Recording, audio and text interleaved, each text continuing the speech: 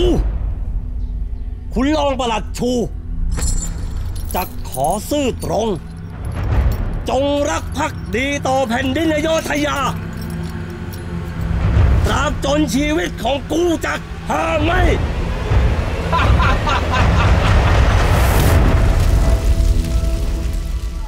บัดนี้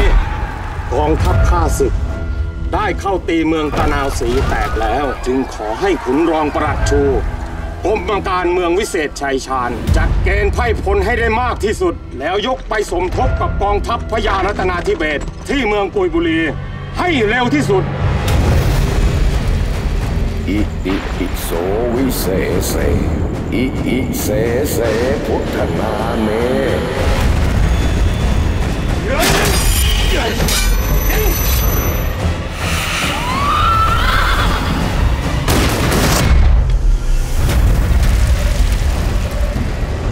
ลงดาบอาธมาศเมื่อคลาสงบนิ่ง ก็ประดุดดังพญานาคราชที่กบดาน แต่ถ้าคลาใดมีศึกหยิบขึ้นมาใช้ ก็จะแผ่พังพานมีบารมีและอำนาจ ดุดดังสายฟ้าฟาด ผิวไหวและเฉียบคม